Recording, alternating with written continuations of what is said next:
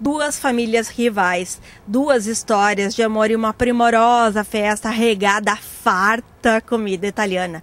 O mote deste livro é o amor, é uma cena que se desenvolveu na Itália e depois se perpetuou em Londres, onde se fixa a família, este casal aqui, que é todo protagonista da obra. Essa é uma obra simples, ela é fácil de ler. Eu li ela em dois dias este fim de semana. Não é um texto primoroso, não é tão bem escrito, mas é legal e é interessante. E vai interessar a muita mulher que gosta de cenas românticas.